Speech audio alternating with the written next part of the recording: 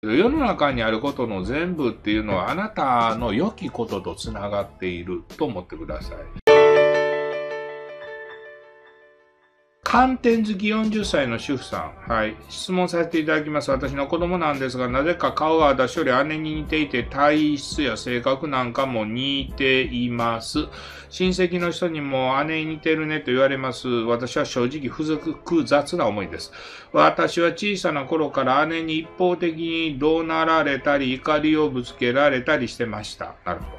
正直今でも姉が嫌いで怖いです。そんな姉に似ている娘とハグしたり抱っこしたりするとゾワッとしたり、剣をすることがあって大好きなのに本当に子供に申し訳ないです。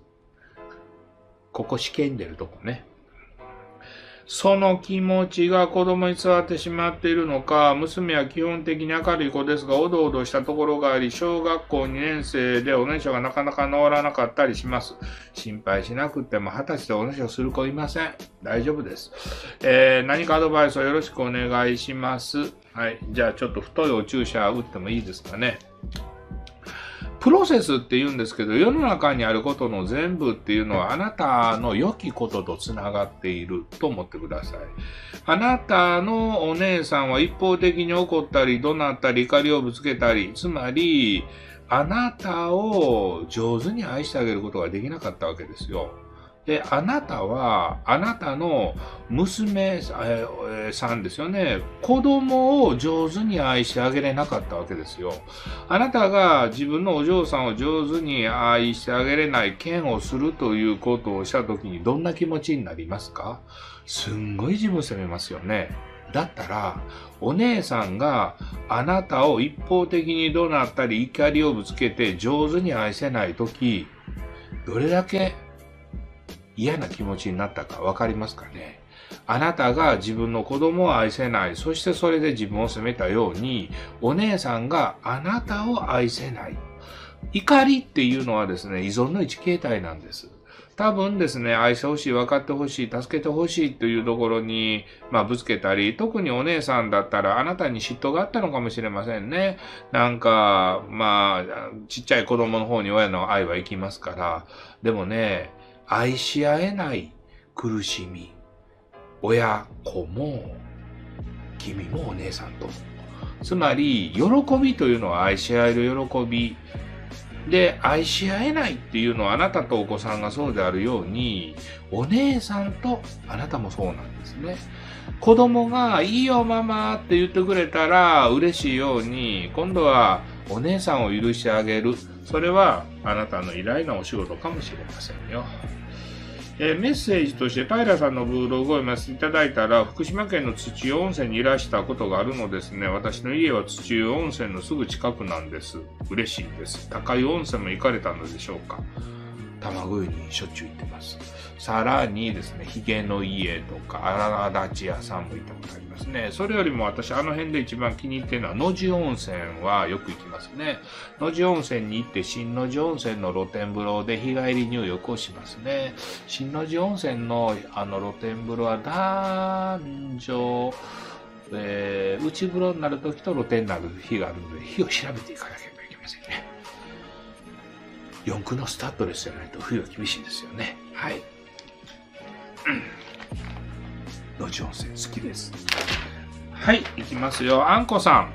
うちのね、猫もね、きなこもいればあんこもおりまして、まあ、それで選んじゃったというのもありますね。どうせ選ばれないだろうと、どうせ選ばれないけど質問します。これが気に入って選び。これの中にですね、あなたはもうすっごい期待がいっぱいありますよね。小さい時から父親と仲が悪く、未だに口も利かない状態なんですが、外面が異常によく旦那の母親と頻繁に連絡を取り、仲を深め何も知らないその母親うちの父親のイメージが良くなるばかりで虫が走るぐらい腹が立つのでしたがどうすればいいですか？ちなみに父親は柔道の感触持ちというか異常な低所関白も力で私たち家族に言うことを聞かせてきた感じです。自分の思い通りにならないと規制を発し近所からもおかしな家だと思われています。あなたのこのね、どうせ選ばれないだろうと思いますけど質問しますっていうのは多分パターンになってると思います。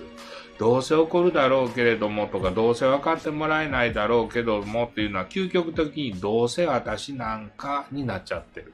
そうするとですね、どっかであなたはいろんな人の前で悪い態度になっちゃってるのと、すごく期待外れっていうことになっちゃってると思いますね。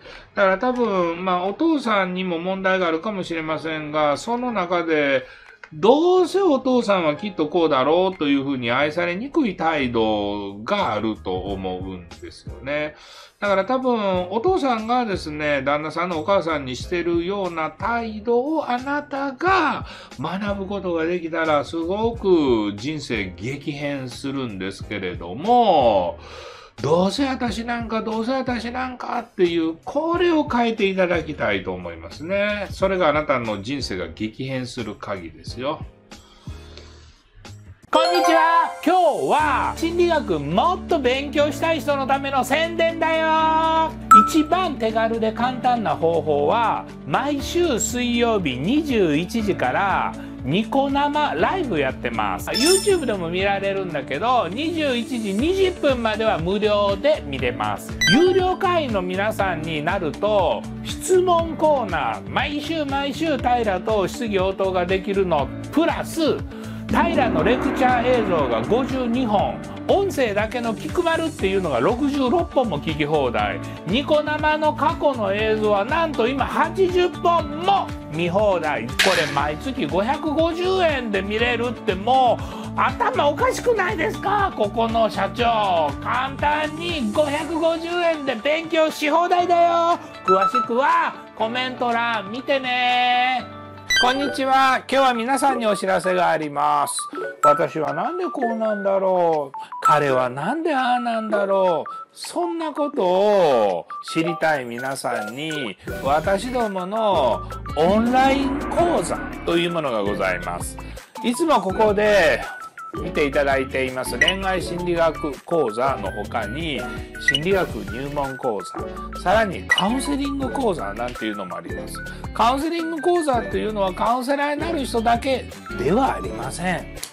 カウンセリングっていうのは彼は何でああなんだろう。こんな時に彼に何て言ってあげたらいいんだろう。まあいわばパートナーシップ。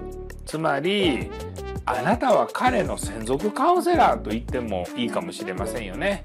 1ヶ月オンライン講座フリーパス2万3100円で10講座も受けれます。3ヶ月のオンラインフリーパス6万3800円。人によっては1年間のオンラインフリーパスを勉強しちゃうなんていう人もいますね。これは17万9300円。もう1講座に割ると1000円ちょっとでお勉強できてしまいます。もしこういうことに興味があるまたカウンセラーになりたいなんて思ってらっしゃる皆さんは概要欄の方をチェックしてくださいね。もしよろしければ無料説明会というものを Zoom でやってますので一度来ていただけませんか？そうするとですね皆さんに入会金無料。そして一つの講座お試し講座って言うんですけれども Zoom の講座を一つプレゼントいたしますからそれでどんなものかちょっと見に来ていただくこともできます。人にとっては本格的にカウンセラーになりたいっていう人まあ私どもではとてもたくさんいらっしゃいますけれども一度無料説明会にお越しください。よろしく。